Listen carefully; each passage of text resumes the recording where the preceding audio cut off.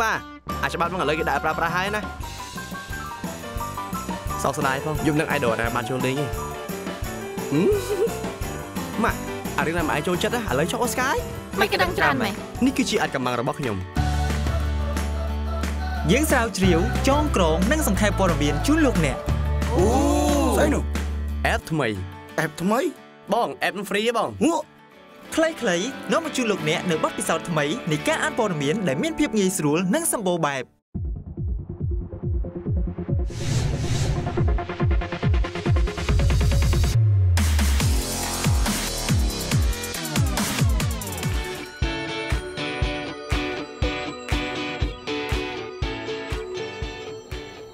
ស្ដីលោកសិនកញ្ញានិងមិត្តយុវទាំងអស់ដែលកំពុងទស្សនាកម្មវិធីមានស្ដាប់ថ្មីតាមរយៈកញ្ចក់ទូរទស្សន៍ My TV នេះខ្ញុំវិយាវិជ្ជាលោកអ្នកតាមពេលវេលាម៉ោងដែរនៅរាល់ថ្ងៃសៅរ៍វេលាម៉ោង7រហូតដល់ម៉ោង7:30នាទីយប់ថ្ងៃនេះខ្ញុំបានមកដល់នៅហាង ក្រេម Fala Vova ហើយថ្ងៃនេះខាងក្រេមនេះនឹងមកផ្ដល់ជាតាំងសម្រាប់កម្មវិធី M ផងដែរពីមួយសប្តាហ៍ទៅមួយសប្តាហ៍កម្មវិធី M តែតែធ្វើការផ្លាស់ប្ដូរទស្សនវិជ្ជាជូនទៅដល់លោកអ្នកតាមរយៈការប្រើវត្តមានពីស្និកតារាល្បីៗក្នុងប្រទេសកម្ពុជាក្នុងនោះមានដូចជាតារាចម្រៀងតារាសម្ដែងតារាកំ pl ៃហើយថ្ងៃនេះផ្ទាល់តារាចម្រៀងនិងអ្នកនិពន្ធវ័យក្មេងចំនួន2រូបនឹងផ្ដល់វត្តមាននៅក្នុងកម្មវិធីរបស់នេះខ្ញុំដែលក្នុងនោះចាម្នាក់គឺជាម្ចាស់បទនឹកអូនបានត្រឹមសម័យដែលម្នាក់ទៀតគឺជាម្ចាស់បទមនុស្សដូចគ្នា ដូច្នេះតើថាពួកគាត់ជាណាសូមអញ្ជើញលោកអ្នករីវីទស្សនាជាមួយនឹងវីដេអូចម្រៀងរបស់ពួកគាត់ជាមួយសិនមុនជិះទៅដល់ការប្រើគឺសម្ភារចាសូមជិះនៅក្បែរគេតាអូនមានអារម្មណ៍យ៉ាងណាតែគេមើល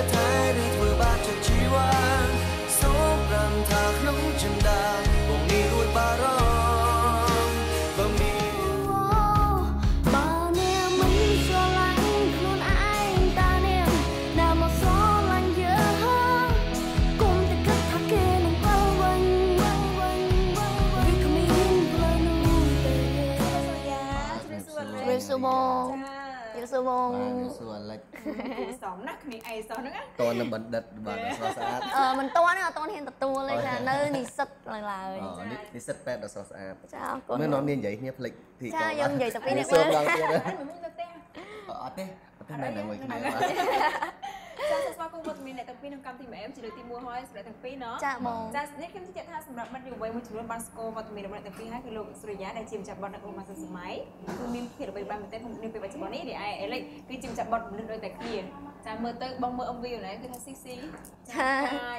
ចាចឹងជំរាបជូនម្ដងទៀតសម្រាប់ព្រោះថាកម្មវិធីរបស់ខ្ញុំមិនត្រឹមតែយុវវ័យគាត់ទស្សនាមានពុកម៉ែបងប្អូនពូមីងអញ្ចឹងណាអញ្ចឹង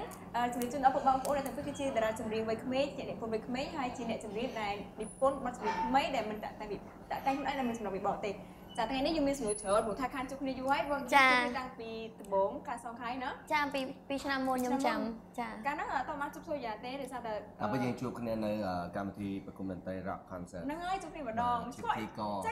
ចាំចាំតូចច្រឡឹងមកអត់ចាញ់ទេព្រោះទូយអូអត់ទេបើធំពេកគេអត់ចេះចាប់អារម្មណ៍ទូទូច្រឡឹងមិនចេះចាប់អារម្មណ៍អាលិចមកស្គាល់យូរហើយស្គាល់បាទទឿយអត់ទេគេគេយើងហៅថាយើងយើងមានយើងមានយុទ្ធសាស្ត្រក្នុងការនិយាយចេះថាចង់ឲ្យបទឿដែរតែហ៊ានហៅអត់ទេអត់ទេអត់ចង់បងអត់ដោយដោយព្រួយមួយបានសាច់ពីរ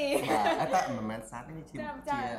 នារីដ៏ស្រស់ស្អាតអឺច្រើនច្រើនអូខេឥឡូវសួរទៅលោកសូយ៉ាមុនព្រោះថាបច្ចុប្បន្ននេះគឺបាត់លោកដែលមានប្រយោជន៍ថាតែអូបានសម័យគឺមានភាពល្បីល្បាញនិងមានការគ្រប់គ្រងខ្លាំងមែនទេពីសំណាក់មិត្តយុវ័យនេះខ្ញុំចង់ដល់ពីសំណាក់រំតិចថាលោកមានមោទនភាពចំពោះខ្លួនឯងយ៉ាងណាដែរនៅពេលដែលបទចម្រៀងរបស់ខ្លួនទទួលបានជោគជ័យបែបនេះអឺ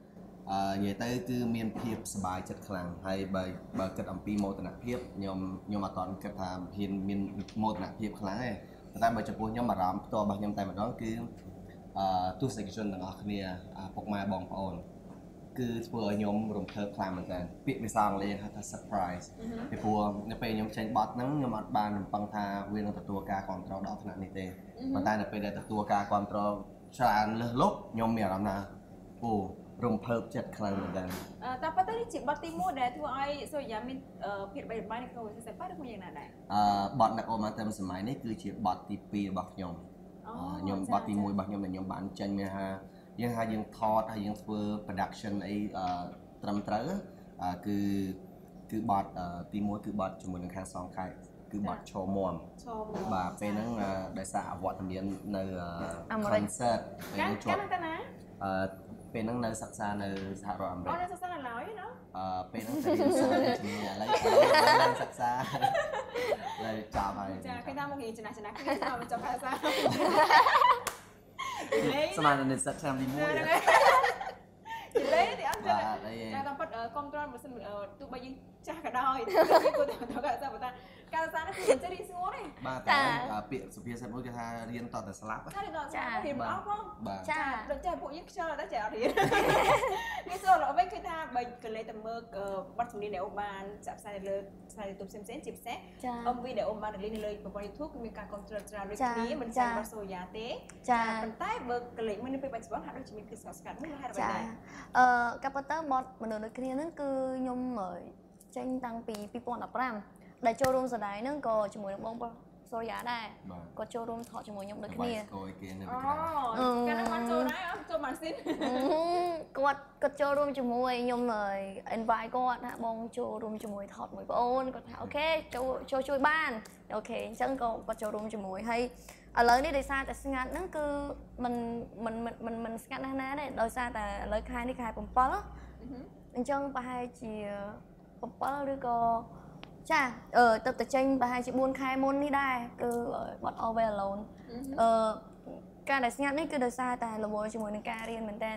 អឺអញ្ចឹងខ្ញុំរកពេលមួយដែលបន្ទាប់ពីការតនេហ្នឹងអត់សូវបានអត់សូវចេញអញ្ចឹងពេលខ្ញុំធ្វើបានគឺនៅពេលដែលខ្ញុំបញ្ចប់ឆមាសអញ្ចឹងខ្ញុំអាចធ្វើតែបានគាត់អូនរៀនផ្នែកពេទ្យខាងចាពេទ្យថ្មីមែនទេចាបងចាចារៀននឹងប្រហែលជាស្មុគស្មាញច្រើនព្រោះមិនរៀមែននយើងតន់ដិតទេណាគឺតន់បណ្ឌិត ព្រោះយើងតែ6ឆ្នាំហ៎រៀនពេទ្យអឺថ្មីពេទ្យថ្មី7ឆ្នាំ7ឆ្នាំហ៎ចាចាយូរយូរហើយការយកប្តីចឹងអឺខ្ញុំរៀនចប់រៀនចប់រៀនចប់អាហ្នឹងយើងមើលឃើញមើលឃើញចាតែតាមពិតចិត្តចង់បានប្តីអាទៅលោអាចឆ្នាំក្រោយឥឡូវឥឡូវនេះដែរ យាយលេយាយលេចាញ់មកអស់ឡើយចាចាំថានេះក៏មានក្រងនឹងចេញបាត់ថ្មីដែរក្នុងពេលឆាប់ឆាប់ហ្នឹងណោះចាបងថាចាឥឡូវហើយយើងរវល់ការសិក្សាច្រើនចា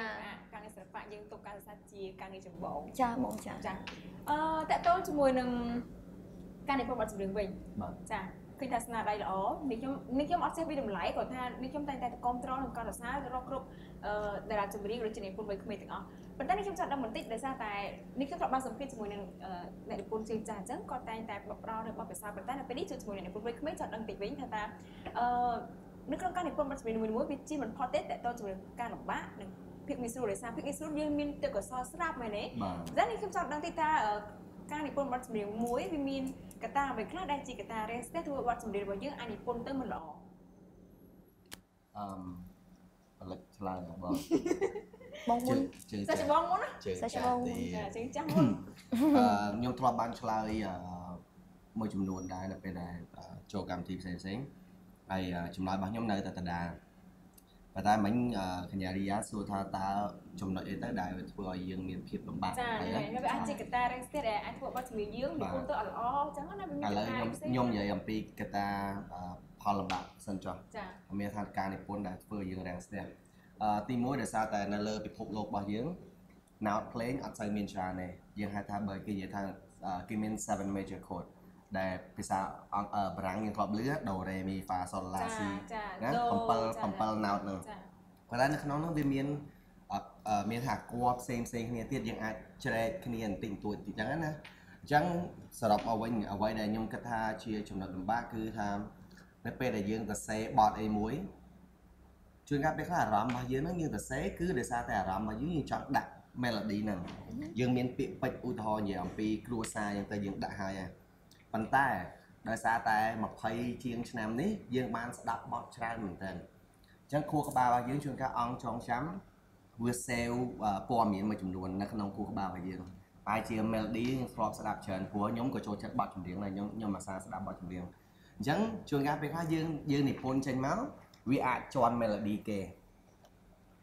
ដោយសារតែយើងស្ដាប់ច្រើនពេកដល់ពេលច្រៀងចោះច្រៀងឡើងមានអារម្មណ៍ថាអញបទនេះដូចបទពីណាគេស្តៀងស្តៀងស្តៀងបទពីណាគេចេះហើយជួនកាលពេលខ្លះយើងអាចដឹងដោយខ្លួនឯងប៉ុន្តែពេលខ្លះយើងអត់បានដឹងទេព្រោះដោយសារតែយើងអត់មានគោលបំណងខាងថាចង់ copy គេណាចាប៉ុន្តែឧទាហរណ៍មានមិត្តភ័ក្តិគាត់សួរថាអឺមិនមែនមិត្តភ័ក្តិគាត់សួរទេចង់និយាយថាព្រោះខ្ញុំពេលនៅពេលដែលខ្ញុំទៅសេខ្ញុំតែងតែឲ្យមិត្តភ័ក្តិ2 3នាក់គាត់ជួយស្ដាប់ សុំជាយោបល់ថាគិតមិនដែរ melody មិនដែរមានជាប់អីអត់មានជាប់អីអត់ចាចាអ្នកខ្លះគាត់ថាហ្នឹង melody ល្អប៉ុន្តែអ្នកខ្លះក៏ចាប់ដើមនិយាយថាអូ melody ហ្នឹងជាប់ដូចជាន់បាត់គេចាអញ្ចឹងយើងក៏សួរគាត់វិញថាជាន់បាត់ណាចប់មកគាត់គាត់ send link ឲ្យយើងមើលទៅក្នុង YouTube វិញទៅយើងទៅភាគខ្លួនឯងថាអូដូចបាត់គេមែនតែយើងអត់មានបំណងចង់ copy ទេអញ្ចឹងមូលហេតុអឺអឺកត្តាដែលធ្វើឲ្យពិបាកគឺនៅពេលដែលទៅសេហើយ ដឹងថាខ្លួន melody ខ្លួនឯងហ្នឹងជាន់ melody គេចាអញ្ចឹងហើយយើងបាទយើងដាក់ដោយអចេតនាអឺអញ្ចឹងយើងមានថាក្នុងមានដែលយើងថាយើងចង់ធ្វើបទនិពន្ធថ្មីដែលមិនជាន់គេចំពោះខ្ញុំខ្ញុំជ្រើសរើសក្នុងការកែ melody ហើយហ្នឹងវាពិបាកចាយើងទៅសេឧទាហរណ៍ដូចយើងសង់ផ្ទះអញ្ចឹងចាយើងសង់ផ្ទះហើយចេញបាត់អាហ្នឹងដល់ពេលបាត់យើងមានអារម្មណ៍ថា អូអត់សូវចូលចិត្តបន្ទប់នេះអញ្ចឹងធ្វើម៉េចតទៅវាយបន្ទប់ហ្នឹងចោលសង់ចេះវិញផ្សេងចាអញ្ចឹងអាហ្នឹងឯងគឺជាផលលំបាកមួយនៅក្នុងផអឺផលលំបាកមួយចំនួនទៀតចាទៅឱកាសឲ្យលេចឆ្លើយខ្លះឥឡូវចាឆ្លងបានបញ្ចេញខ្លះហើយចាសបងម្ដងអឺសម្រាប់ខ្ញុំវិញគឺអឺមិនខុសពីគាត់ទេប៉ុន្តែកត្តាមួយផ្សេងទៀតដែលចូលរួមជាមួយនឹងការខអឺផលវិបាកសម្រាប់និពន្ធចម្រៀងហ្នឹងគឺអឺដោយសារតែខ្ញុំជា independent artist អញ្ចឹងអ្វីៗគឺយើង control ទៅខ្លួនឯងទាំងអស់ សម្រាប់ខ្ញុំគឺខ្ញុំបញ្ហាគឺ studio ក្នុងការ record ចម្រៀងអញ្ចឹងអឺបន្ទាប់ពីយើងនិពន្ធចម្រៀងហើយបន្ទាប់ពីយើងទៅសេអ្វីបានចប់គឺយើងត្រូវការ record ជា audio អញ្ចឹងជាយើងសំឡេងចាជាសំឡេងគឺយើងពិបាកស្វែងរកជាមួយនឹង Oreo អញ្ចឹងអឺពិបាកស្វែងរក studio ជាមួយនឹងខាតតម្រូវជាមួយនឹង code របស់យើងព្រោះអឺបើចិត្តខ្ញុំ បើខ្ញុំមានពេលវេលាច្រើនខ្ញុំមានឱកាសគឺខ្ញុំចង់បង្កើត studio មួយខ្លួនឯងសម្រាប់ថតជាមួយខ្លួនឯងមកនឹងឯងជាចំណុចរបស់ខ្ញុំដែលពិបាកក្នុងការអឺតកតងជាមួយនឹង original song នឹងឯងចាស្ដាប់ទៅបានទៅបបភាសាច្រើនតែពេលអត់ចេះនិពន្ធទេណាប៉ុន្តែមើលទៅនិយាយថាការងារមិនងាយស្រួលទេនិពន្ធបាទចាមិនងាយស្រួលទេអញ្ចឹងសម្រាប់លោកអ្នកដែលកំពុងទស្សនាកម្មវិធីរបស់ខ្ញុំជាពិសេសប្រិមត្តយុវវ័យដែលតែងតែចាមានបំណងចង់